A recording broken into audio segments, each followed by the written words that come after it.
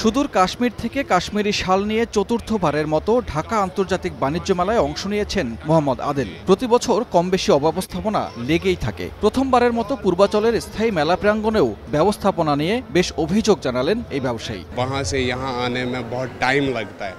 সেই কাশ্মীর থেকে বাংলাদেশে এসেছি মেলায় অংশ নিতে। এর আগেও এসেছি। এখানে স্টলের খরচ অনেক বেশি। এবারের মেলায় যাতায়াত খাবার সহ আরও বেশ কিছু প্রতিবন্ধকতা আছে। তারপরও খরচ হিসেব করে পণ্যের দাম চাইলে ক্রেতার সারা মিলছে কম। দো রুপে ইসলিয়ে চড় রে দোকান কা ইয়ে বহুত বেশি তিন দোকান মিলে চারটা পাস। তাহলে চারটা পাস প্রত্যেক দিন টিকিট কাটতে হয়। রাত্রে বাসায় যাওয়ার সময় যে অবস্থা খাওয়া থেকে শুরু করে মানে যা আপনি চান প্রত্যেকটা জিনিস মানে ফেড আপ মেলা শুরুর এক সপ্তাহ পেরিয়ে গেলেও অনেকে পুরোপুরি স্টল সাজাতে পারেননি। যারা স্টল শুরু করেছেন তারা বলছেন শুরুর এক সপ্তাহে ক্রেতা দর্শনার্থীর আনাগোনা কম। করোনাকালীন তো সবাই টেনশনে থাকে তো এখন বুঝতেছি না কি হবে।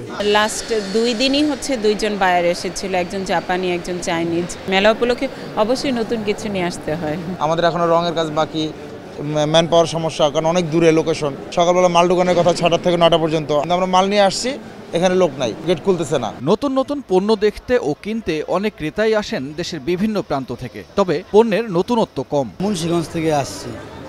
এখানে আসছি বাণিজ্য মেলা পরিদর্শন করতে। পরিবেশটা খুব ভালো লাগছে। জায়গা অনেক খোলামেলা। নতুন প্রোডাক্ট না এগুলো তো আমরা নিত্য প্রয়োজন এই বিভিন্ন মার্কেটেই দেখতেছি এরকমই। প্রতিদিন সকাল দশটা থেকে রাত নয়টা পর্যন্ত মাসব্যাপী চলবে ঢাকা আন্তর্জাতিক বাণিজ্য মেলা। দর্শনার্থীদের টিকিটের দাম রাখা হয়েছে চল্লিশ টাকা।